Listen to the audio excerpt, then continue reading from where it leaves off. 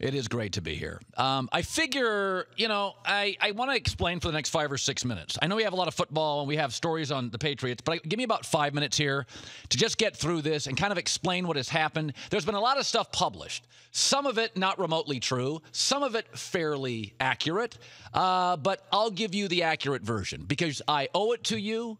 Um, I have moved to Los Angeles. My family was out here in July. I moved a few weeks later, um, and it's been unbelievable the response. Uh, everywhere we go, people want the true skinny. And let me just let me just lay it out for you in five minutes before we get to a lot of football today. Troy Aikman next hour, Peter King. We have a great show. So January, I was in Connecticut on a couch with my wife, and we poured a glass of Pinot, and we would do this from time to time at two in the afternoon. Um, it's cold there and snowy. You get bored early in the afternoon. And we were sitting there and we were talking about our lives. And she uh, asked me a really good question. She said things are different. You don't you don't feel as inspired. You've lost some energy. And she's done this throughout our marriage and throughout our relationship. And she said, she asked me a really interesting question. She said, from this moment right now, as the snow was piling up on top of the snow that was piled up in Connecticut, I didn't see my lawn for four months. She said, from now until dead, are you living where you want to live? And are you doing what you want to do? No and no. And so that late afternoon, we got on the internet and booked flights to LA. We were going to change our lives. Simple as that. Early January. The next three days, we were on the internet. Schools. We had two families, two kids. We couldn't tell anybody. We couldn't tell anybody. I told my ex wife, I said, don't tell anybody. We can't tell kids. And so in January, I decided I am moving west. At that time, I wasn't inspired. And so I went to my former employer and I asked him six or seven questions, and I was seeking yeses. I said, I want to have proprietary relationships with my advertisers. Can I have that? Can I own my podcast? Can I own parts of my radio show? Can I have can I be on a better TV network at this company? And I asked a lot of questions, and they were frank. And to their credit, they were honest. It was mostly no's. And a maybe, and we'll think about LA. So um, I changed agents and I told him, get me yeses.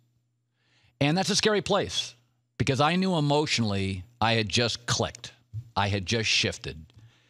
I was moving my kids, I had changed my agent, I was moving to another coast, I had doctors to find for my kids in schools, and I thought, I'm changing companies, but I didn't know where yet.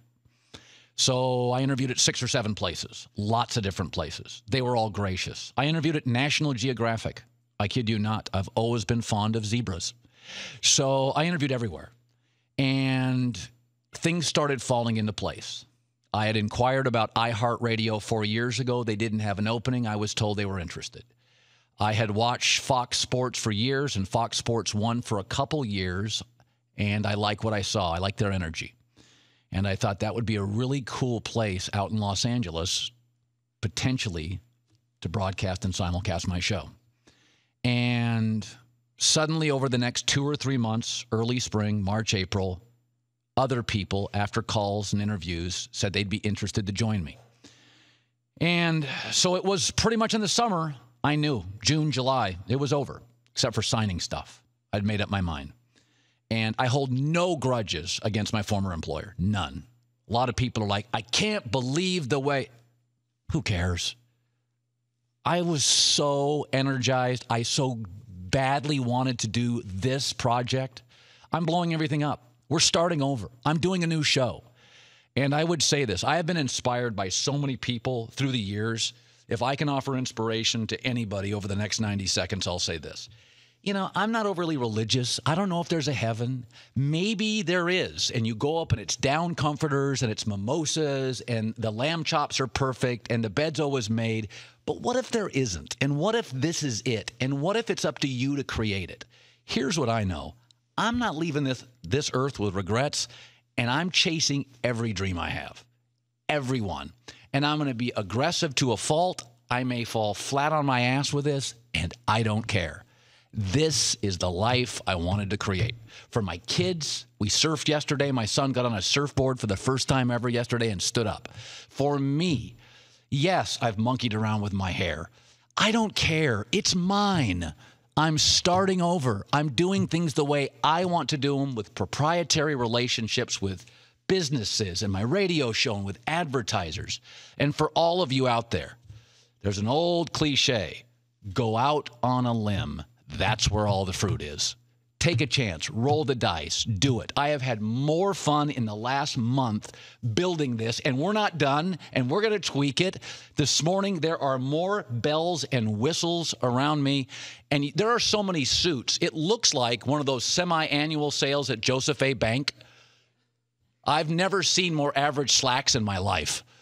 I am a Delta pilot trying not to crash this morning. I've got more people here, more levers, more things. It's going to be a little turbulent for the next few days. Um, but of the many things I wanted to change, I thought sometimes I bark. And as I came out to Los Angeles and I found some writers, I was looking for somebody at the bottom of the hour specifically, but could be a contributor to this show.